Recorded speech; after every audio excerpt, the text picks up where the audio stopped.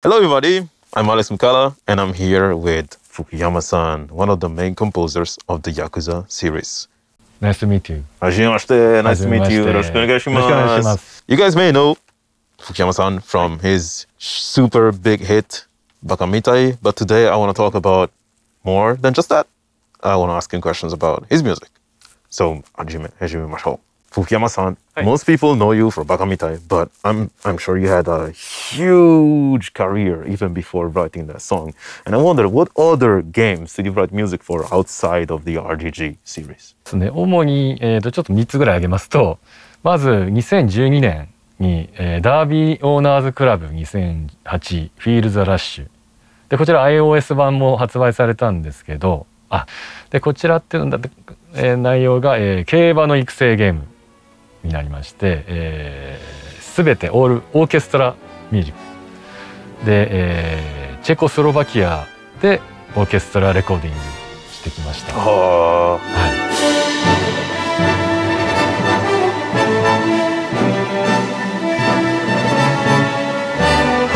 で、えー次に大きいのは、えーと「ファンタシースターオンライン2」本当ですか？あほんほん、えーいえ、すごいです。えーわお。まあその中で音楽制作メンバーの一人ですね。で、えーまあここであこれはまあご存知の通り、えーあれですね MMORPG になります。であのまあたくさん曲かかっているんですけれども、まあ大きい案件としてじゃあ、えーそうですねフィフスオープニングムービーっていうのがあるのでそちらも良ければムービーもしくは音源だけで流していただければと思います。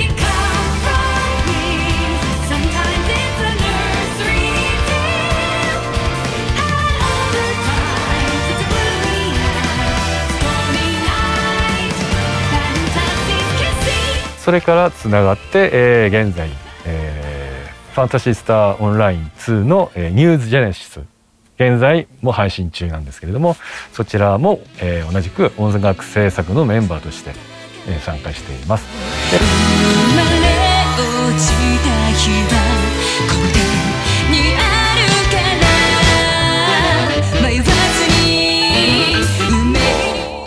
かっこいいね。わ あはい What was your favorite piece to compose in the Ryuga Gotoku series and why do you like it so much? What was the process like that made it your favorite? あのまず普通の楽曲を制作する際にはあのキャッチーなメロディーだったりとかあのまあ構成ですねあの A メロ B メロ C メロっていうのを最初にこう決めたものをきっちりと制作するのが通例ですけれどもこの曲に関しては、えーあれですね。ひたすら自分が、えートランジャズトランペットアドのインプロバイズして、あとはローズピアノでバッキングしてあとはバックはあの打ち込みだったりあ打ち込みあのマニピュレートで作ってひたすらメロディーがなくもうアドリブ improvise only の.楽曲だったんですけどそちらそうですね。あのーこちらは使用画面あ使用する場面としては龍が如く54の探索地ですかね。あのー主人公あユーザーがこう街を探索する時の流れる BGM でタイトルが「ウイスキーラプソディ」というものでこちらもじゃあ後で流していただきます。っていう曲ですね。これがまあそのちょっと普段の楽曲とは違うプロセスで作成したのもあってあのーちょっとまああとユーザーにもあまり気づかれていないようなマニアックな楽曲なんというところでご紹介させてきました Oh man. That's amazing.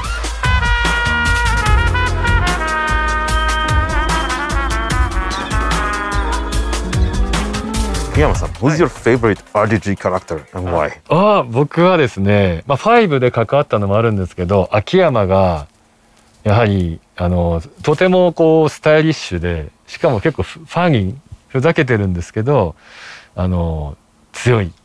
しかもあのイケメンハンサムボーイなんつうんだあの英語わかんないんですけど、うんハンサム、うん、それがあのまあ男としてはずるいなと。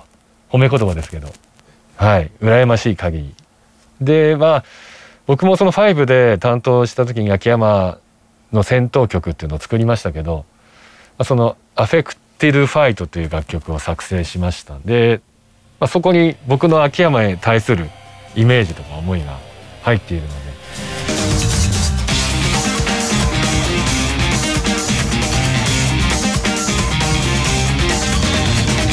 Fukuyama-san, I don't, I don't know if you know this. Probably you do. There's plenty of musicians doing arrangements of RGG music online on YouTube, uh, especially Bakamitai. And um, I'd like to show you some of them. And could you tell me what you think about them? はい楽しみです。 Okay, here you go.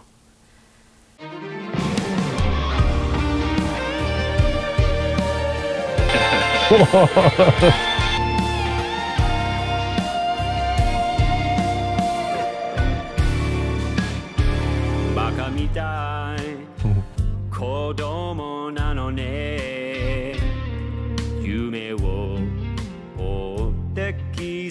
ついて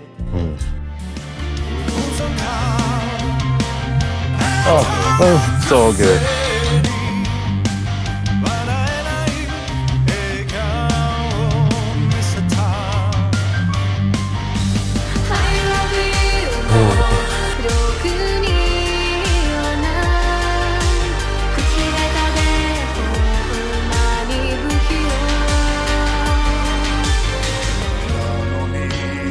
用いいなとどうしてさよならは言えたのあ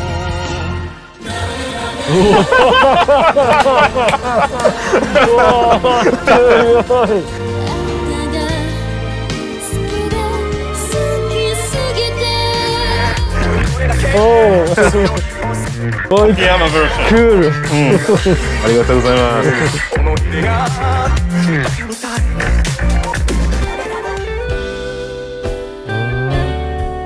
あジャズ Very cool. 素晴らしいですね。アンダフル。そうか。いやあのーいろいろ上がってるのは知ってていましたけれども、あの特にミームっていうのはもちろんご存じ上げたんですけど、こうやってバックトラックもあの新しく演奏し直す要はね、うん、 new track を作ってらっしゃるのがものすごく嬉しくて。しかもその全て結構原作を上回ってきてるっていうか ゴージャスなトラックになっているのがすごくあの感動しました。はい。でそれぞれジャンルがそれぞれ違うアプローチで来ている。あのアレックスさんはファンキーだったりとか、さあこれコンセンんジャズかな？コンソールさんとかですね。these are all videos from the community. I just you know put them together, and I, and there were so many more. There's so many covers of this song and all the other Yakuza songs. I, I wonder if the team at Japan sees all this stuff that happens overseas. Like there's so many fans of this series that do also beautiful cosplay and stuff like that. I made one sometime one time for Kiryu and and uh, Majima. Maybe I can show him. Majima. おお全員になってるすごいおお、うんなかなか怖い no. すごいなここまでされるとは思ってなかった No, I really love it. Like this series is really inspiring so many people all over the world for fashion, inspiring guys to be, I think, more in touch with their feelings because you see these stoic characters like Kiryu and Majima break down, and it's very relatable and beautiful to see. And the music is also inspiring lots of people to compose, as you've seen with these arrangements. There's, I just picked ten of them or something, but there's so many. Even for the other songs like Judgment and the the instrumental songs and everything. So you guys here in Japan are inspiring the West, s- probably even more than the music from the games in the West. So I really thank you for that. おおありがたいです嬉しいですねはい Fukuyama-san, you're the original composer for Bakamitai, the track that's gotten a lot of attention in video, probably one of the most popular video game music tracks, I think. Uh, did you expect it to become as popular as it did? And why do you think people like it so much? えーとですねまずそのあれですよねカラオケ枠っていうところがあのまあちょっと面白いというあのなんていうんですか interesting っていうのかわかんないけどの感覚はあるとは思いますけれどもヒットするカテゴリーではないと僕は思っていたんですよね。うん、やっぱりヒットするというのはメインテーマだったりとかそういうものだと思っていたのでそこでなぜそこで火がついたのかはちょっと僕も分かりませんっていうのが正直なところではあります。ですけど、まあ、もちろんそのネットミームであのディープディープフェイク？ととかから始まってこうやってあのアレクさんの、えーアレンジだったりとかに広がっていったっていうのがやっぱり事実であってでそのそうなるところのやっぱり原因っていうのはやっぱりゲームにそのものにあると僕は思っててでそのヤクザ世界っていうこの硬派な世界観の中でその桐生だったりとか真島だったりとか、まあ、この曲は真島はないんですけれどもそういうキャラクターが、あの真剣にしかもそのメロウなバラードをあの歌っている様だったりとかですねでこの楽曲に関してはその結構女性的な歌詞だったりするんですよ。そのだからこわもての男性キャラが女性的なあの歌い回しをするっていうところのキャラクターとのギャップだったりとかそういうところがまず面白いっていうユーザーのあの気持ちだったりあとはやはりその桐生たちキャラクター自体がやはりもうユーザーにものすごく愛されているものっていうのが前提にあるからこそこのような形になったのではないかとは思っています。まあ、できればバカみたいパート2の要望がユーザーさんから出たらですねすごい頑張って作りたいなと思っていますのでよろしくお願いします。福山さん that's my last question for you, and then I will let you go. And thank you so much for your time. Both you and Shoji-san have been so wonderful uh, with your your kindness of sharing these answers with us. My last question to you is: Is there some other track that you made which you would like to see get the attention of Bakamitai, like the attention that Bakamitai is getting? えーとですね、まあ、バカみたいは、その、まあ、いわゆるカラオケ曲というそのゲームの中の、まあ、割とちょっとミニゲーム、コミカルな枠というイメージだと思うんで、ああいう形でのこう、付加価値のあるというか、そういう爆発的な注目っていうのは多分浴びることはなさそうな曲なんですけれども、えっ、と、あの、龍が如く、オブ・ジ・エンドっていうゲームがありまして、でその中でエンディングロールで流れるまあエンうーんなんだろうなエンディング曲とも言うのかもしれません。で「忘れない」ってこれもひらがななんですけどっていう曲がありましてこちら、まあ、割と知られていないんですけど、あのーすごくメロウなバラードででこちらは女性ボーカルですフィメールボーカル。で、まあ、僕的に龍が如くのプロジェクトにそのミュージックディレクターとして初めて参加したのが龍が5なんですね。龍が4はあのどっちかっていうとその曲だけ提供するっていう形だったんですけど、まあ、という意味でもその思い入れがある楽曲としてその「忘れない」という曲をあの音源をお渡ししますのでぜひそちらも聴いていただければと思います。I will check it out.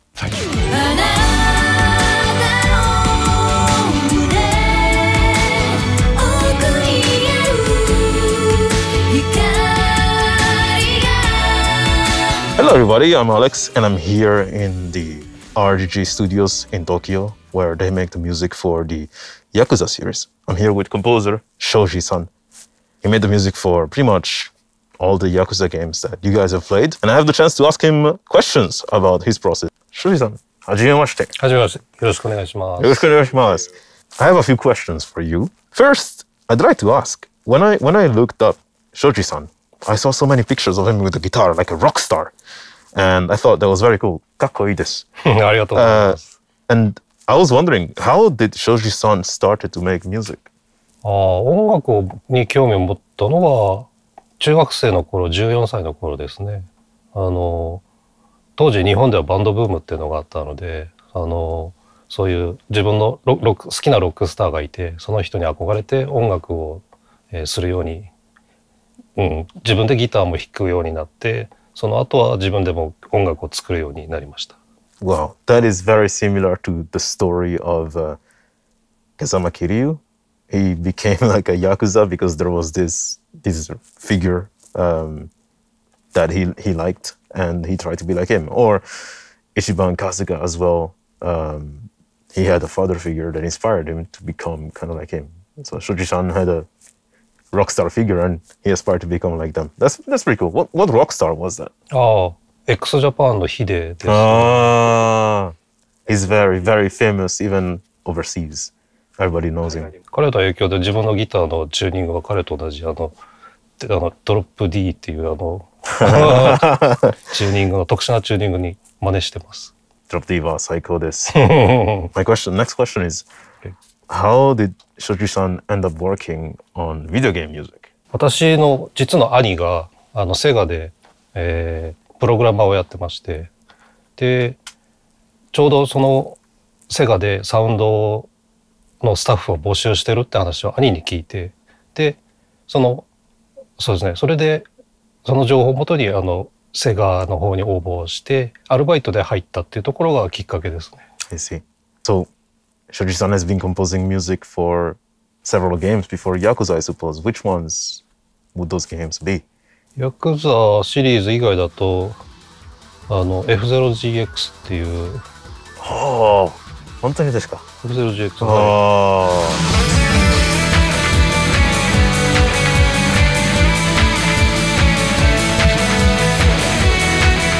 まあ、あのセガと任天堂があのココラボレーションしたタイトルなのでその時にコンポーザーとして参加していました I, I remember I didn't play F Zero GX. Um, I played the previous one on Nintendo 64. But I remember my friends who played F Zero GX all told me, the music is insane, the guitarist is crazy. And I was like, oh, damn, now, now I know who did it. It was Shoji san. That's あ amazing. りありがたい光栄でございます Maybe Shoji san can be the next Hide. がん頑張ります I, do my best、Yeah You're very good. I wanted to ask, what was your favorite piece of music that you worked on on the RGG franchise? And why was it your favorite? What was the process of making a piece of music like? 楽しいっていうのとちょっとまあ違うかもしれないですけど自分の中でずっとあの残ってるとかい印象に残ってる曲があってそれが「龍が如く3」で「えークレイドル・オン・ザ・クレイドル」っていうあの曲があるんですけど。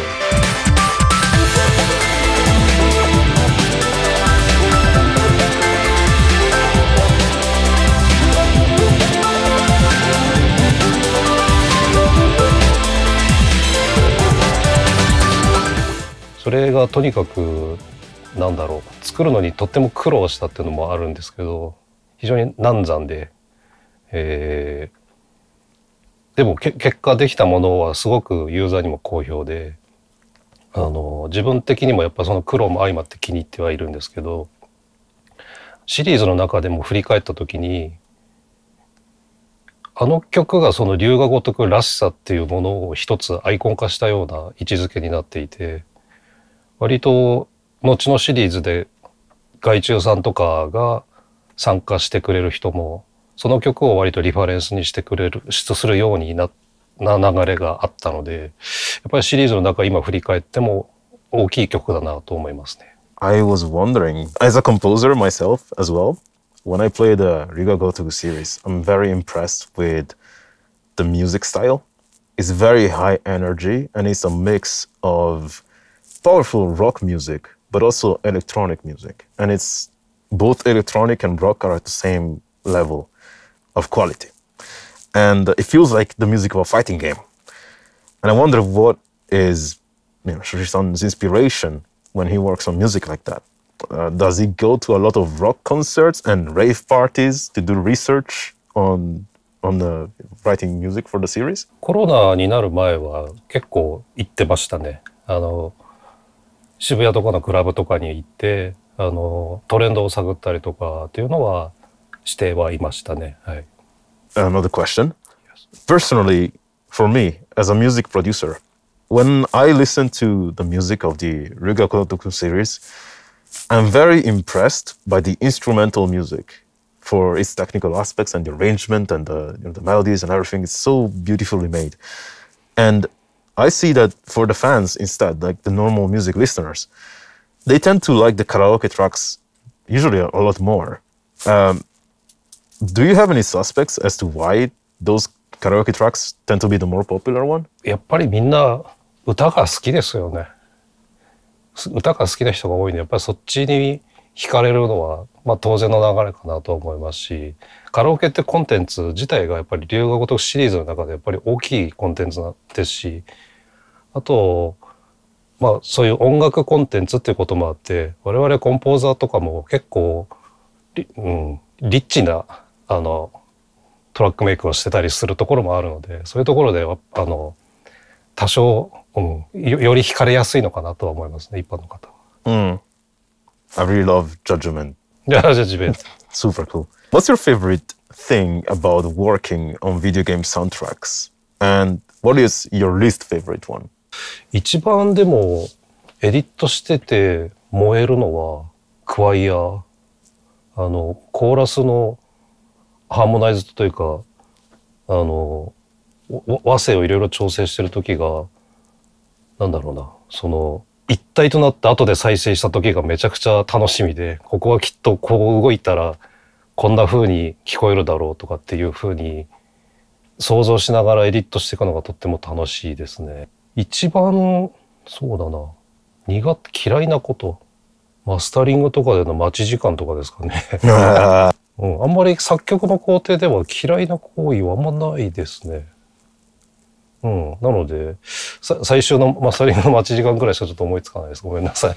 I mean, this is probably, uh, I mean, it must be Shoji-san's dream job. 夢の仕事ですか?あ今のし仕事が、ああ転職だと思ってますね。Mm. And choir is also very, very cool. One time I did a collaboration on YouTube where I asked um, my audience to send me videos of them singing a chorus of a song, the same song. I just directed everything. And then I had to mix a thousand four hundred people's vocals together in a in a choir. And it was a lot of like processing and equalization and stuff. But at the end I was like, whoa, super beautiful. うん、もうと鳥肌っていうか、あれと英語って何でしたっけグースバンプス。 Yeah, definitely. I know Shochi-san, like I know you've wrote music for several, I mean, all the Yakuza games. That includes Ishin, right? Was the process of working on Ishin different from the the other games? And if so, in which way was it different? えっと、龍河如く維新ではですね、えーその前に時代劇のゲームっていうのは、龍河如く剣山っていうのが一個、一作あるんですけど、その時の経験から、 あの、絶対にあの、三味線を使った曲っていうのが必ず必要になるっていうのが分かっていたんですね。なので、龍河如く維新が開発が始まるちょっと前から、自分で三味線を弾くように、あの、教室に通って、自分で弾けるようにしたんですね。なのでそのプラグインとかで鳴らす三味線の音で楽器特性を知らずに作るのと楽器特性を知ってプレイヤーとしてアプローチする曲ってもう全く違うんでなのでそっちの後者の方のアプローチで、えー作れたのでよりなんか自然な三三味線というかフレーズというかそういうトラックメイクができたかなと今振り返って思います。